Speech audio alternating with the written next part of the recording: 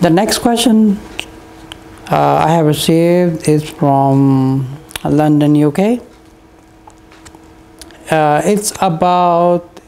uh, if I eat candy and gum do not swallow, does that uh, break the fast?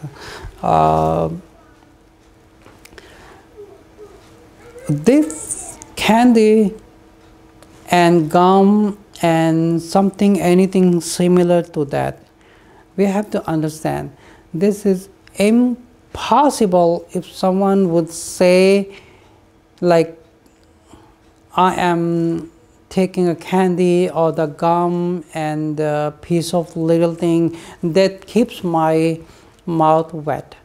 But th this is really impossible because uh, let's say if we eat a gum or the candy, the taste and the liquid that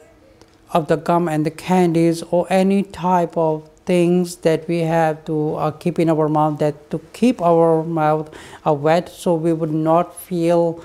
uh, about the fasting. This is impossible uh, to take a gum or the candy to keep yourself, to keep your mouth uh, wet so you won't it get a dry and you don't feel uh, illness or anything that don't, does not affect your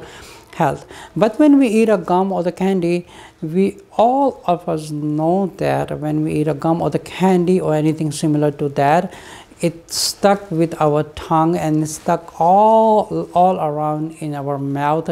and uh, this is no way that it will not be get swallowed that's like uh, if you take a gum or the candy you have to spit every after one second because naturally by if you take a gum or the candy the liquids melt in our mouth and uh, the liquid goes all our mouth and gets swallowed by naturally. So it's impossible that someone could be fasting and uh, eating a gum and he's being spitting again and again every after uh, one second. So it will definitely uh, invalidate your fast and it will break your fast by uh, by if you try with the gum or the candy or anything similar with that. But you, all you can do is you can take a water and you can goggle and you can spit it out. That's all you can do. So make your uh, mouth wet. But the things like uh, which is something related to food it is not permissible and this is going to break fast